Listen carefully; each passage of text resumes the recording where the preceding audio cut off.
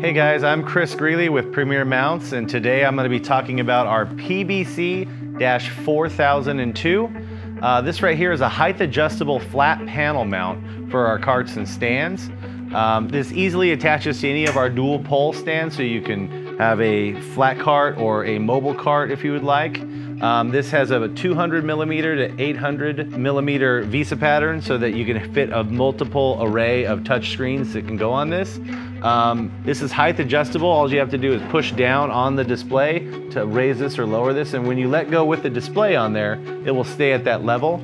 Um, depending on how heavy your display is, there are springs in here that you can adjust to make sure that it works perfectly with whatever display you're using. Uh, this guy has 150 pound weight capacity and also post installation lateral shift so that you can center the display on this thing. If you'd like any more information on any of our products, please give us a call or visit our website.